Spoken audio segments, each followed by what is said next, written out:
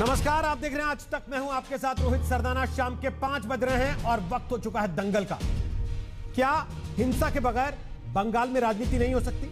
यह सवाल इसलिए क्योंकि बंगाल की ज़मीन पर चुनाव की सुखबुगाहट के साथ ही हिंसा, बवाल, आगजनी और हंगामा शुरू हो जाता है। बंगाल में टीएमसी को परास्त करने के इरादे से बीजेपी ने पूरी ताकत लगा रखी है तो हमले की शुरुआत हो गई है। आज जेपी नड्डा के काफिले पर पथराव हुआ। बीजेपी के अध्यक्ष जेपी नड्डा तो बाल बाल बच गए। लेकिन कैलाश विजयवर्गीय को चोटें आई।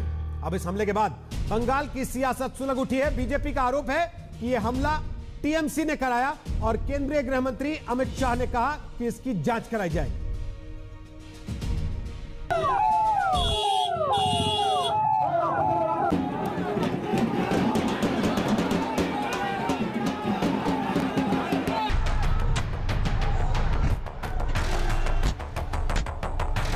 कार तोड़ दी गई है।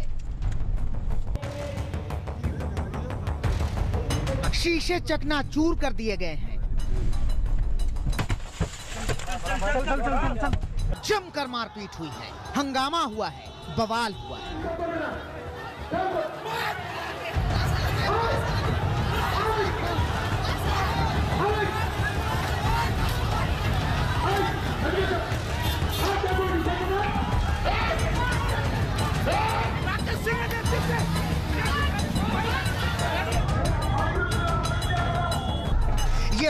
पत्थर है जो बीजेपी के अध्यक्ष जगत प्रकाश नड्डा के ऊपर फेंका गया था। वो तो शुक्र था कि जेपी नड्डा की गाड़ी बुलेट प्रूफ थी, जिसकी वजह से नड्डा बाल बाल बचे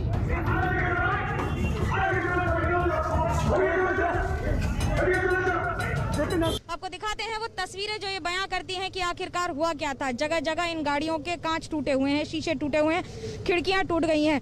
कॉन्वॉय में कई गाड़ियाँ थी बंगाल के प्रभारी कैलाश विजयवर्गीय की गाड़ी जिसमें उनको भी चोट आई है। मुकुल रॉय, जो राष्ट्रीय वाइस प्रेसिडेंट हैं तो वहीं दूसरी ओर यहाँ पर इन गाड़ियों को भी क्षति पहुँची है। कई गुना ज़्यादा और कई नेताओं को भी चोट लगी है। नड्डा का पश्चिम बंगाल में आज दूसरा दिन वो मुख्यमंत्री ममता बनर्जी के भतीजे और सांसद अभिषेक बनर्जी के संसदीय क्षेत्र डायमंड हार्बर जा रहे थे। अचानक रास्ते में पथराव शुरू हुआ।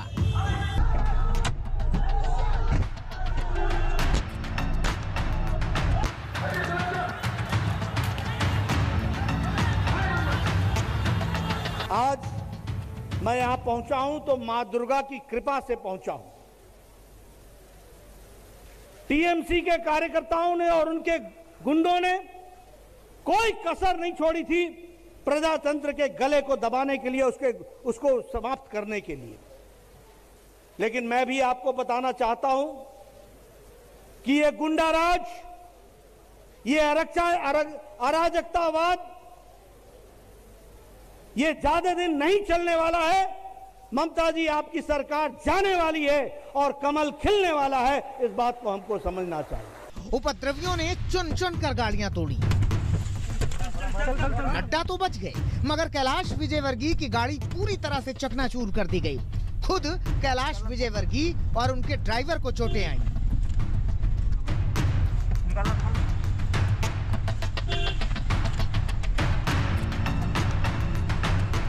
कैलाश जी, क्या हुआ था? पूरा प्रकरण बताइए, कैसे चोट लगी और क्या हाल? देखिए नड्डा जी की गाड़ी के पीछे हमारी गाड़ी थी।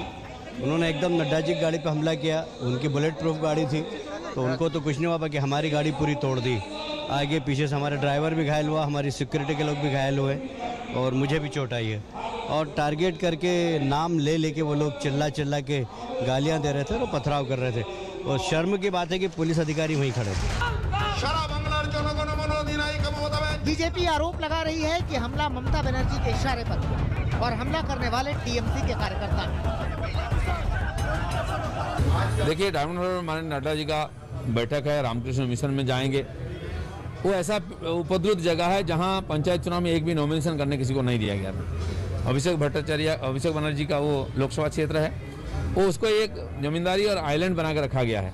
आज वहाँ कार्यक्रम में ना पहुँच पाए, इसलिए पूरे रास्ता में और एंटी सोशल को जमा किया गया है। और कल रात को हमारे कार्यकर्ता जब तैयारी कर रहे थे झंडा लगा रहे थे उनको मारपीट किया गया। आज सुबह भी मारपीट हुई है। अभी खबर मिली है रास्ता में गाड़ी रोक करके लोगों के साथ मारपीट किया जा रहा है। तो एक प्रकार से अ, कानून व्यवस्था पूरा चरमरा गई है और इसीलिए बार बार तीन सौ छप्पन जारी की लोगों की दावा बढ़ रही है। नड्डा पर हुए हमले की जानकारी गृह मंत्री अमित शाह को दी गई तो उन्होंने भी हमले की निंदा की।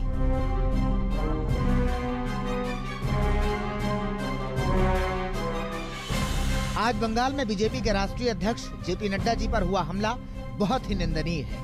उसकी जितनी भी निंदा की जाए, वो कम है। केंद्र सरकार इस हमले को पूरी गंभीरता से ले रही है। बंगाल सरकार को इस प्रायोजित हिंसा के लिए प्रदेश की शांति प्रिय जनता को जवाब देना होगा तृणमूल शासन में बंगाल अत्याचार, अराजकता और अंधकार के युग में जा चुका है। कृषि मंत्री नरेंद्र सिंह तोमर ने भी हमले की निंदा की। मत भिन्नता तो लोकतंत्र में स्वाभाविक होती है, लेकिन इस प्रकार की घटनाएँ आमतौर पर देश में देखने को नहीं मिलती थी।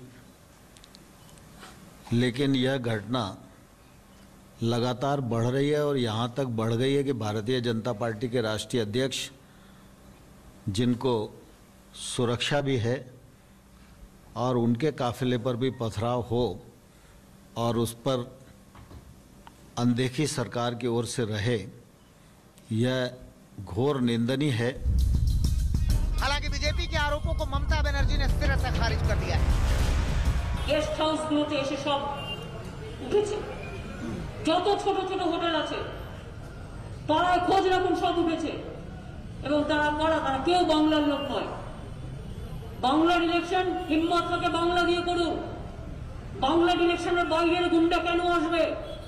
বহিরাগত গুন্ডাদের